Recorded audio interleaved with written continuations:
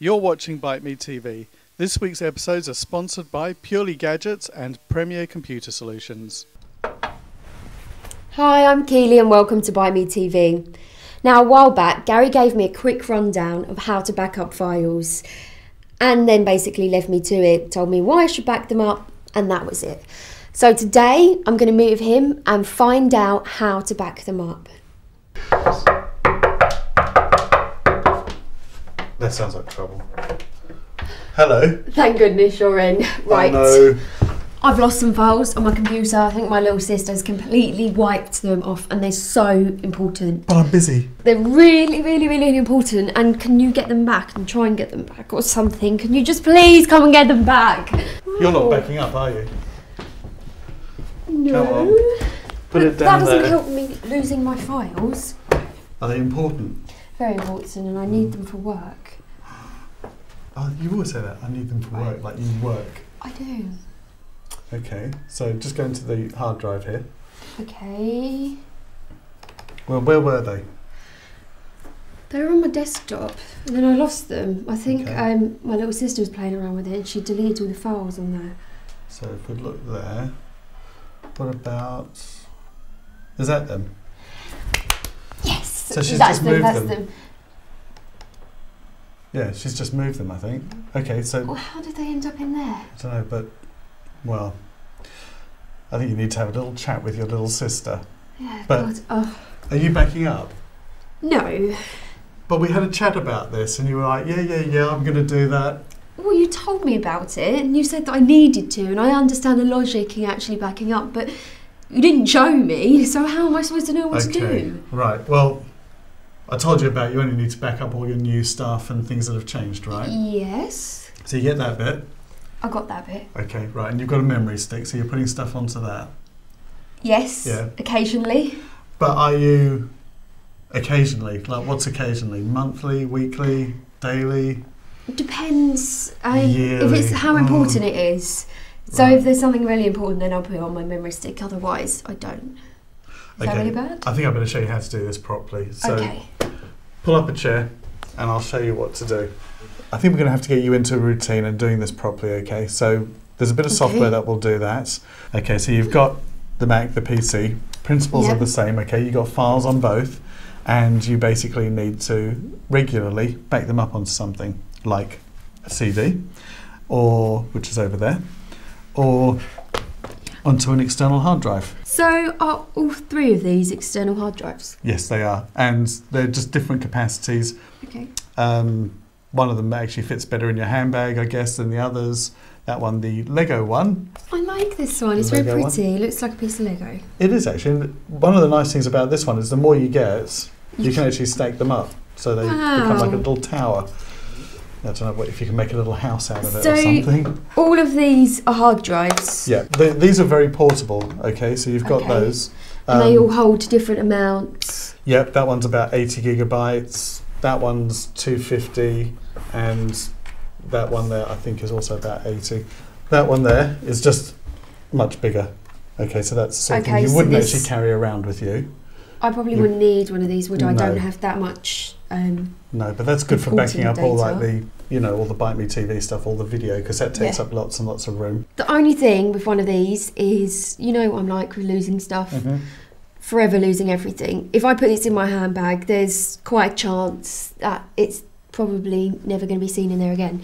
Like everything else, including my scripts. The scripts, yeah. Thankfully, we don't need one of those today. Um, so what else can I do? Because if I lose it, then I've lost everything. You could do it online. So you could actually go to a website. There's plenty of them around, and you can actually upload your files to there. Some of them charge for it. Some of them give you a certain amount free, and then you can just, if you need more, you can pay extra, or they actually give you extra software like, you know, like backing up software, so it will Mm. automatically run it for you. And again, that's really good because then you don't have to worry about the compatibility between the Mac or the PC. You can just Yeah. upload on either one of them. The only problem is, is that they're not going to have the same capacity. So like that hard drive there, okay, those like that one there, that um, orange one, that holds 250 gigabytes, which you're not going to really get online. That's basically everything on my computer. Yeah, that's probably about say 300 times the size of a CD. Wow. Yeah, so you know, you probably yeah that would hold everything. You've got a lot of photographs because you're doing a lot of your digital photography now. You're getting a bit Yep. into the video, so that's really good. You're downloading all the Byte Me episodes, um, so that's really excellent. So you can back all of that up. The stuff that you can't get back, you don't want to worry about your music that was on CD that you've just put on, say your iTunes or whatever, because if you need to get those back, you just put the CD back in. And although it's time consuming, you don't you don't want to waste space, really. But Okay. so you've got the online version, you've got your memory stick, and they're getting quite big in capacity as well. You can also use an iPod. Some of the iPods you can actually use as disk drives as well. Ah, Yeah, so that That's would be a good. good one for you too. Um, so you can do any one of those. The principle behind all of them are exactly the same. You basically just need to choose your folder or your files that you want to back up. Tell it when you want to back it up, which might be now, or you can tell it to run regularly every day, every week, every month, at a particular time, and away it goes. And all you've got to remember to do is leave the computer on, leave whatever you're backing up onto, like the external hard drive, plugged into it, and you're done. That's really good. Yeah. So now I know. I think I'm going to be the proud owner of this um, new Lego looking external hard drive. I was kind of wondering which bit of my equipment was going to go missing today since You so many have things. three. That's just being greedy. So I think you can donate one to me, seeing as I haven't At least up. I've still managed to hang on to my iPod Touch. Mm, not for long. So now I've got. I need a USB lead. I would Yeah. take. We'll get you one of those, but I'll show you how to actually set up the software. So, a lot of this software is actually the se- uh, very similar. So, all you've got to do is load it up. Now, there's some free software. There's software you can buy, and a lot of these, all these hard drives, and actually all of that comes with actually a disk that actually has the software in it.